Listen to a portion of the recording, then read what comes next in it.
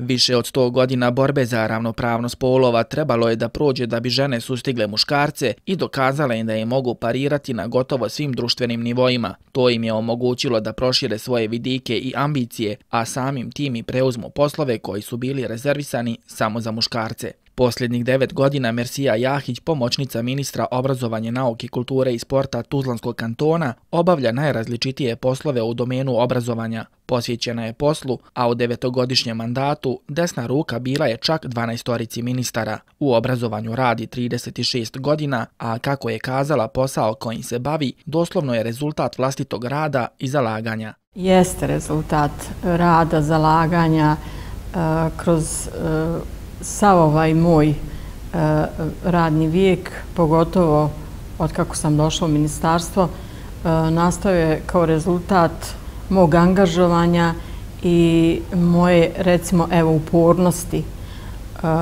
na realizaciji poslova koji su mi bili, evo, dodjeljivani, ali i vjerovatno podrške i mojih kolega i podrške mojih predpostavljeni da eto mogu da radim i ovu vrstu posla. Prema riječima naše sagovornice u organima uprave Tuzlanskog kantona nema diskriminacije nad ženama, te su one ravnopravne sa muškarcima i podjednako nose teret svog posla. Ja sam sretna i ponosna recimo kad vidim policajku na uh, našoj saobraćajnici ili kad vidim da radi i tu vrstu posla koja je nekako bila predodređena za e, muškarce.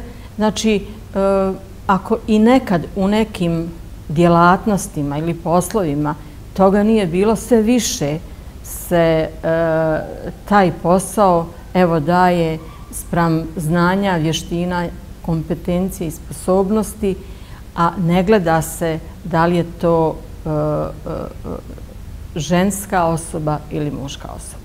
Obilježavanje Međunarodnog dana žena prilika je da se ukaže na položaj žena u našem društvu. Pripadnice nježnijeg spola veoma malo zastupljene su u politici, barem kada je naša zemlja u pitanju. Nisu prisutne ni u ostalim oblastima u mjeri u kojoj bi trebale biti. Za razliku od muških kolega, žene danas teže dolaze do posla i lakše ga gube, iako zakon garantuje ravnopravno učešće žena u političkom i javnom životu, ali samo na papiru. Priliku smo iskoristili da naše sugrađane na gradskim ulicama upitaju pitamo koliko su žene ravnopravne u bosansko-hercegovačkom društvu. Anketa koja slijedi ne mora odražavati stav većine stanovništva.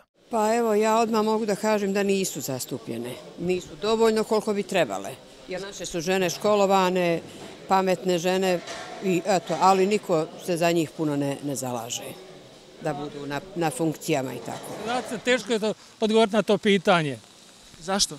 Pa, vjerovatno zbog pasivnosti žena one se ne trude da budu aktivne u svim domenima i tu su zapostavljene, same su krive što su zapostavljene. E, žene nisu ravnopravne sa muškarcima u društveno-političkom životu u Bosni i Hercegovini. To pokazuju svi statistički pokazatelji koji govore o učešću žena u koji participiraju dakle, u različitim nivoima upravljanja u smislu parlamenta vijeća. Sudeći po odgovorima naših sugrađana, ravnopravnost polova prvi je test na kojem je bosansko-hercegovačko društvo palo, no da određenih pomaka ima, a da borba koju je započela Klara Cetkin 1909. godine nije bila uzaludna, potvrđuju primjeri naše sagovornice sa početka ove priče.